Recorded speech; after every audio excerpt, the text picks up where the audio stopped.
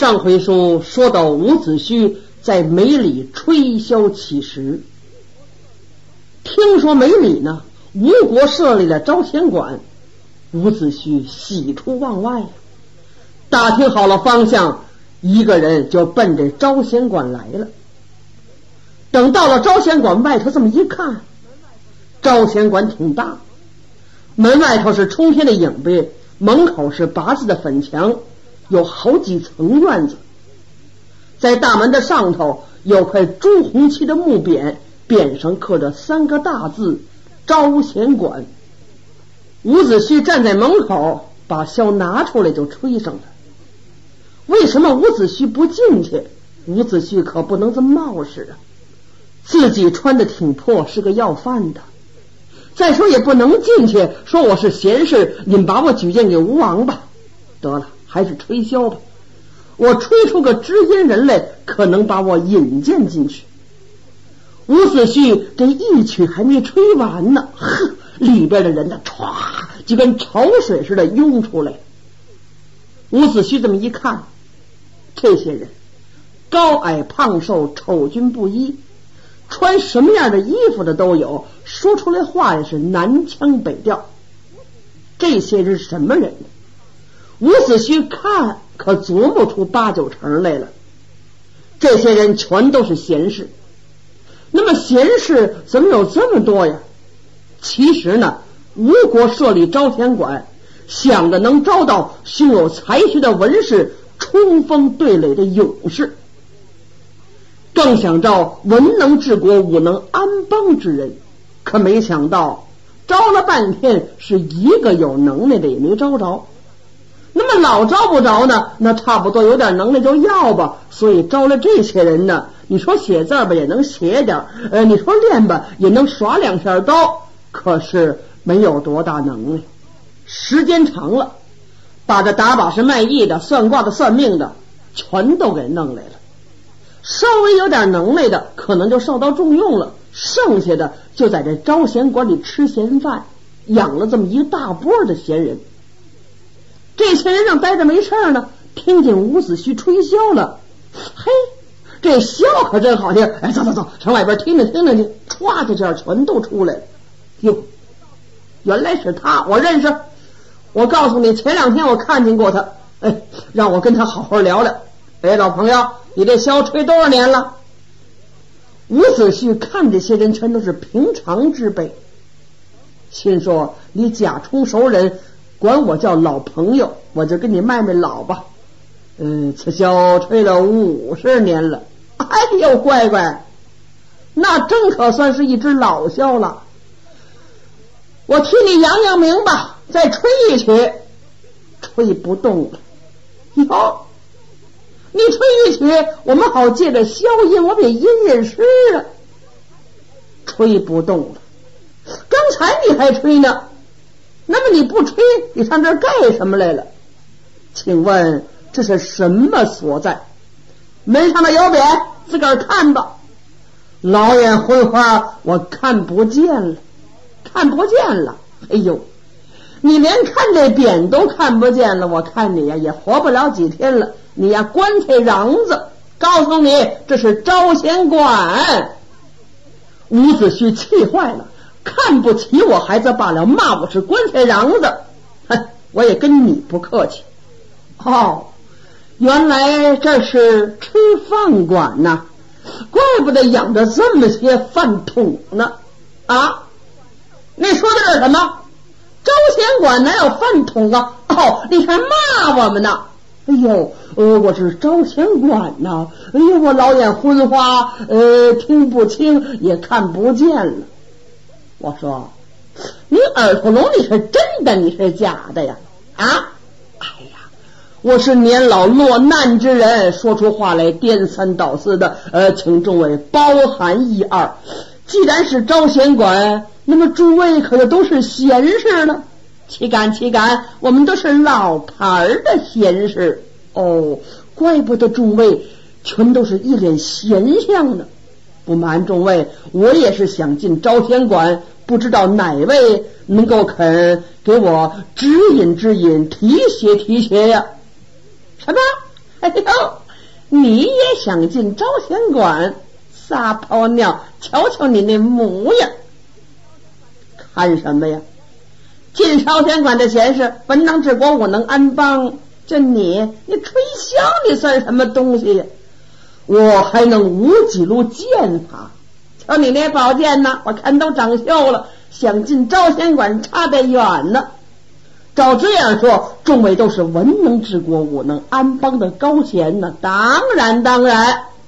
哦，那我请问诸位高贤。要有怎么样的武艺才能进招贤馆呢？你他他他，好，这几位全说不出来了。有一个人这么一琢磨，嗯，行，冲里边嚷上了：“哎，我说王垮子，耍两下，让他看看。”哎呀，俺来了来了！这王垮子出来了，呵，是个大个儿，一听这口音就是山东大汉。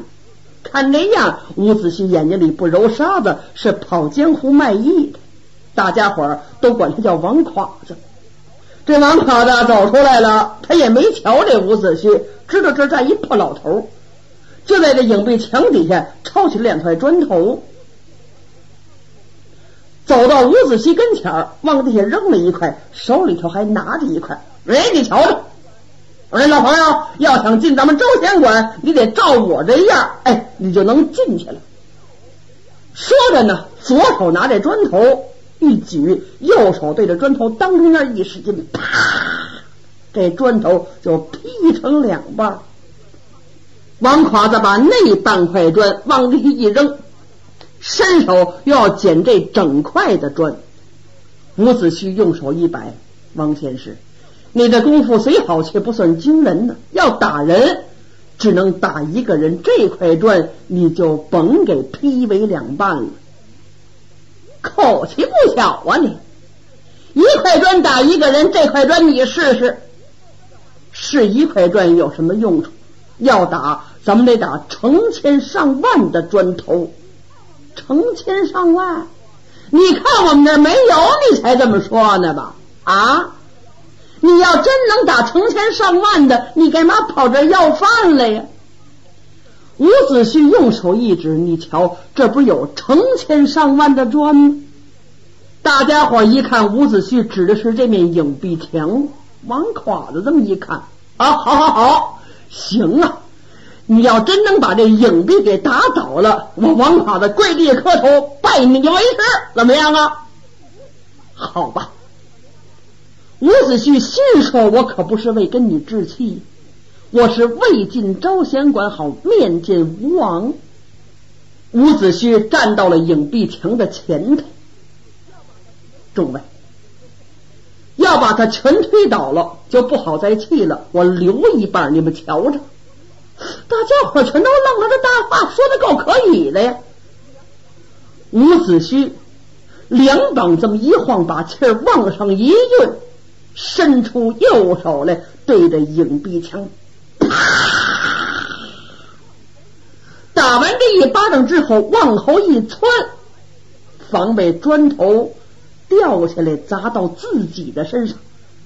这些人一看打一巴掌，刚要问这伍子胥，就听哒哒哒，哇！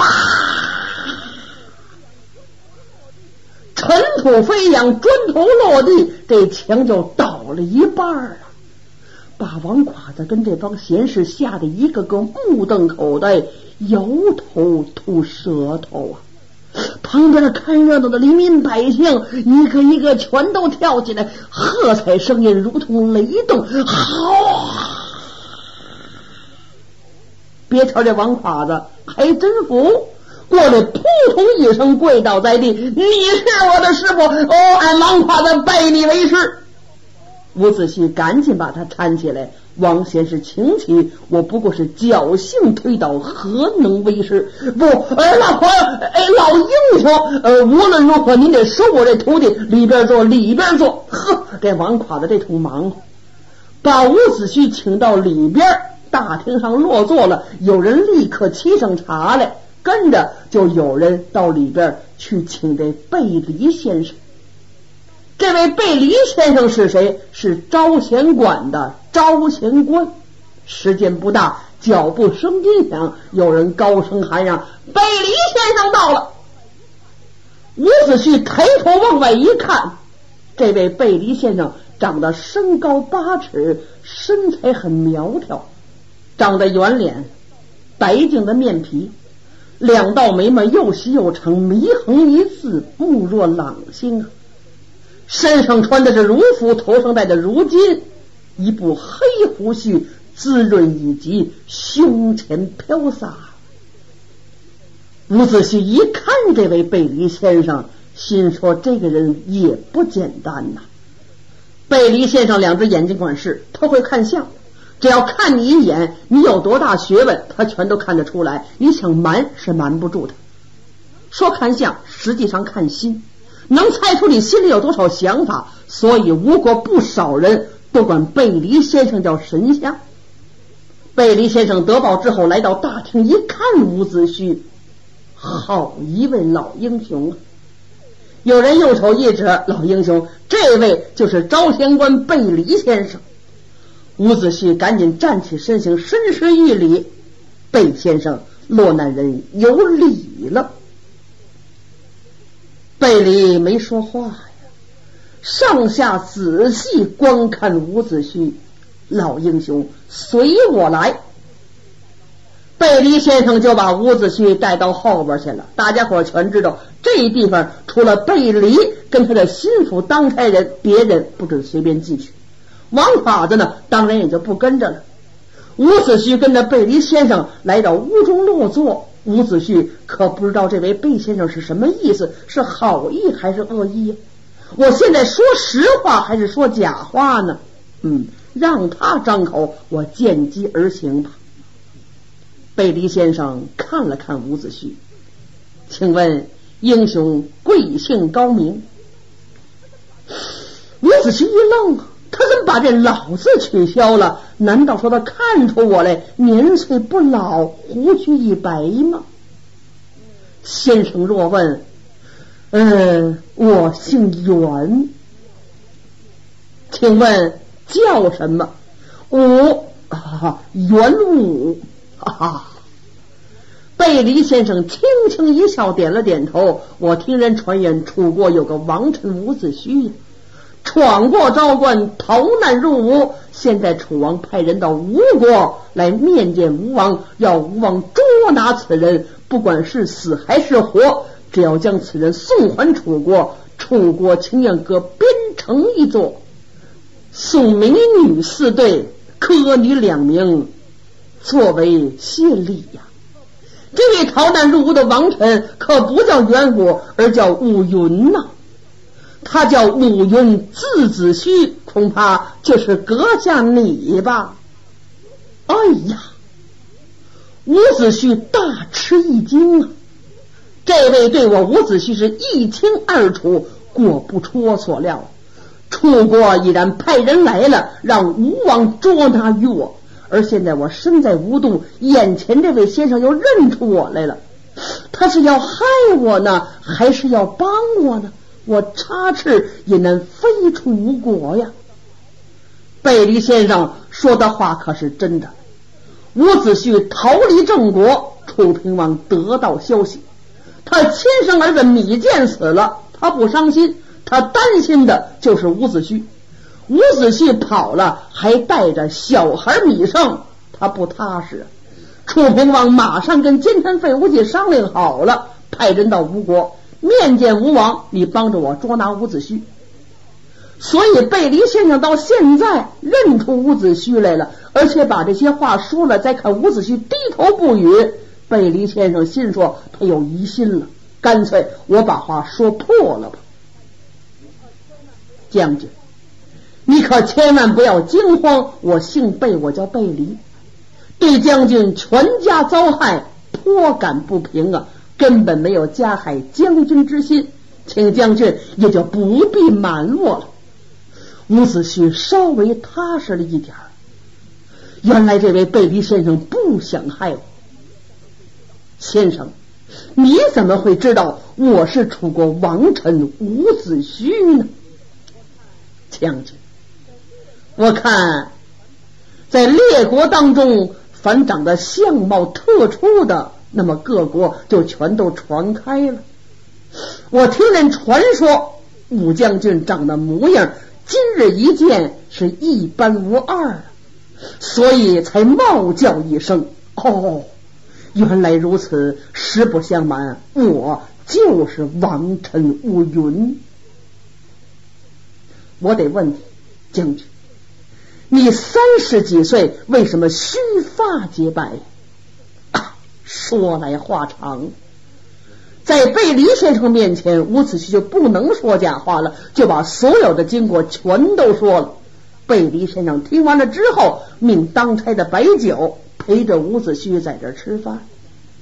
伍子胥吃着吃着，可就跟贝离先生说：“先生。”我单身逃难，吹箫乞食，来到吴都梅里，幸得见到先生，但不知吴王对我伍子胥怎么样啊？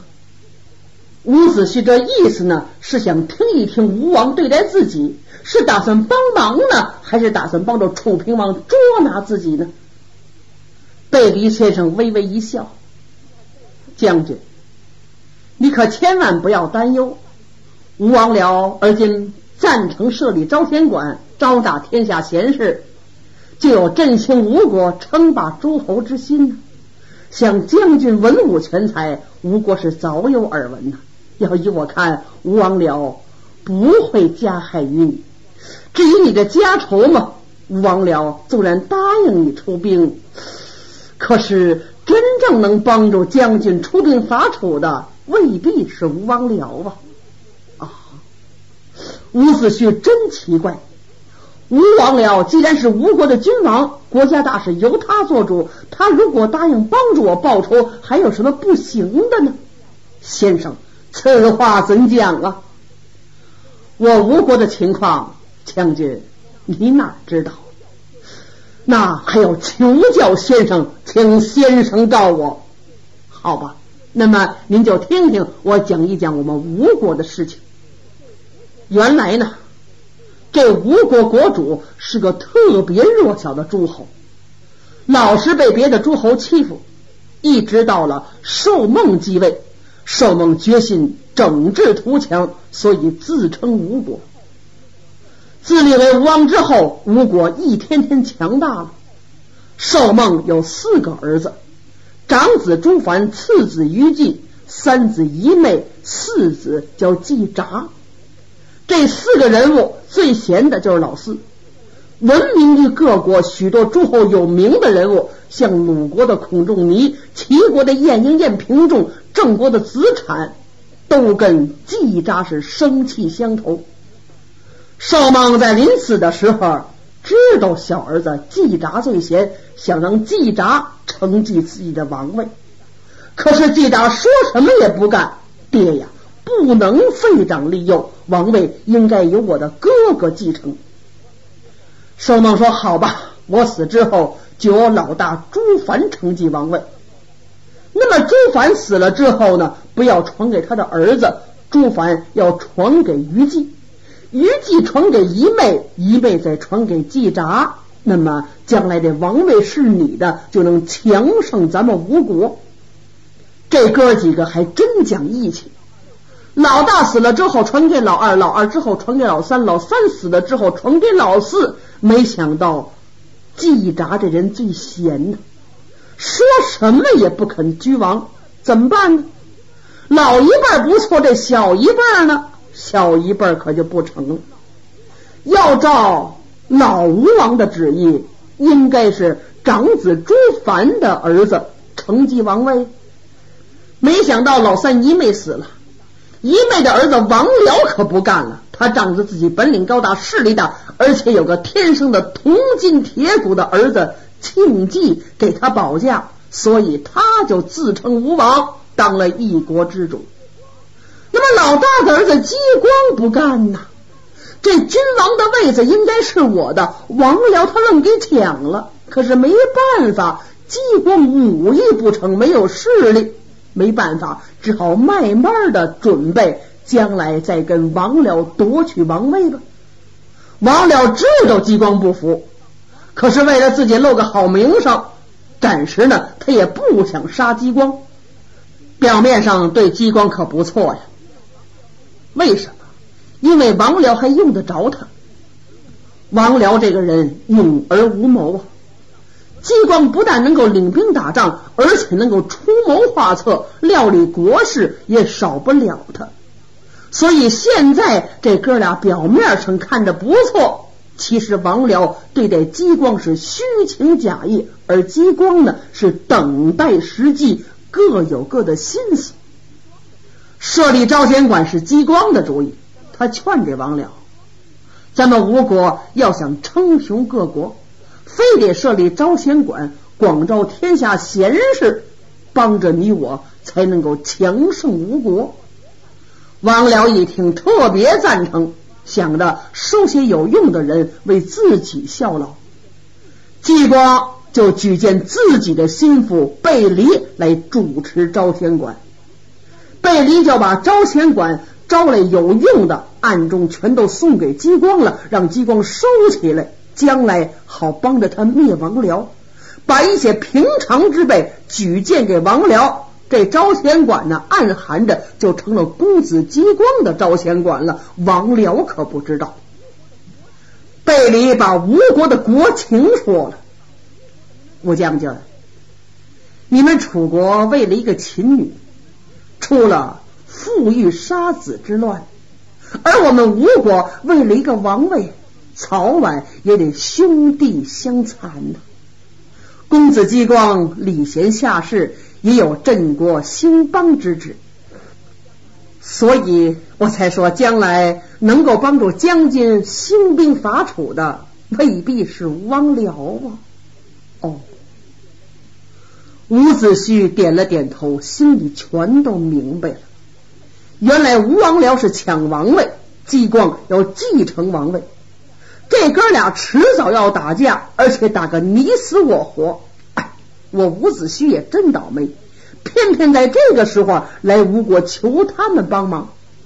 现在也就盼他们暂时不打才好。不过公子姬光既能够礼贤下士，我伍子胥倒真应该见见他。贝离看出来了，将军，我想把公子激光请来跟将军见上一面，不知将军意下如何？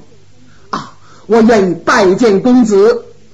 来人呐，你们速去把公子激光请来，就说招贤馆来了一位高贤。是一个心腹的当差的转身刚走，这时候门外进来一当差的启禀先生，宫中来了两个内侍要见大夫。啊，贝离怎么一听坏了。公子金光还没来，王僚的人来了。王僚的人不常来，难道说跟伍子胥有关吗？我本来不想让吴王僚知道，恐怕也瞒不住了，也不能不见呢。好吧，令他们进来。时间不大，王僚手下的人就来了。那王辽能不知道吗？伍子胥这一巴掌把半壁影壁墙都打塌了，一传十，十传百，这消息很快就传到了王宫。王辽这么一听，这人太有了！我儿子庆忌本事高强，再来这么一位，两个人帮助我左膀右臂，何愁我不称霸于天下？将来再把公子姬光杀了，赶紧派人去请吧。吴王僚就派两个内侍到招贤馆去请这位贤士。两个人迈步进来见贝离先生。贝离先生知道这时候藏伍子胥都来不及了。如果说不把伍子胥交给两个内侍带进宫中去见吴王僚，那就是欺君之罪。两个内侍上前施礼：“贝先生。”吴王听说招贤馆来了一位老英雄，特地命我们请老英雄入宫相见。嗯，贝离这么一想啊，我为什么在招贤馆里坐着不出来呢？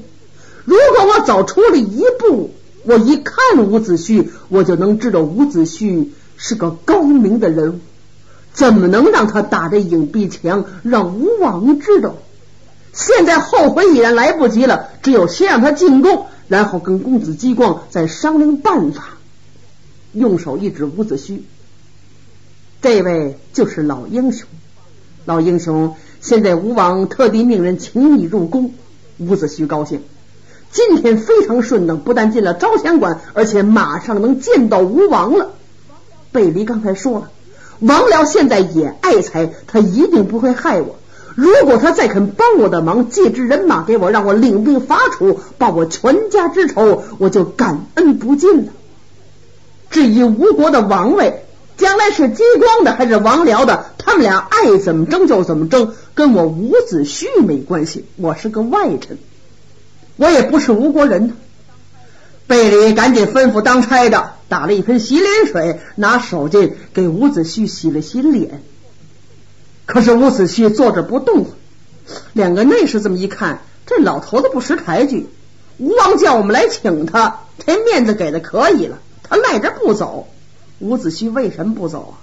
他一看自个儿这副尊容，披头散发，身上穿着白孔八卦衣，脚底下是通底的靴子呀，就这副模样，我就进宫见吴王。贝离是个聪明人，看出来了，来呀，赶紧给英雄起一身衣冠来。手下人拿下了，时间不大，拿了一身宽大的衣服。帮着伍子胥把头发理了一下，打了个发髻，周身更换，头上戴着武士巾，身穿战袍，腰系挺带，足蹬薄底快靴，左肋下悬着七星宝剑，右肋下插的是斑竹洞箫。贝离先生往外送，伍子胥跟着两个内侍出了招贤馆，然后回过身来，一躬到地，给贝离十个礼。贝先生。告辞了。伍子胥转过身形，跟两个内侍奔吴王僚的宫门。贝离站在招贤馆的门前，瞧着伍子胥的背影，一直到看不见了。就在这个时候，身背后有马特銮铃的声音，回头一看，来着十几匹马。为首之人长得白面青须，高眉朗目，身高八尺，正是公子姬光。公子激光甩着雷安下马，有人把马接过去，跟贝离先生两个人来到招贤馆。贝离先生把经过一说，哎呀，激光可就急了。伍子胥天下奇才，被吴王僚所用，如何是好啊？公子不用着急，您听我说。贝离先生趴到公子激光的耳朵这儿，如此这般，这般如此，妙计一条。公子激光面带笑容，好，咱们就这么办了。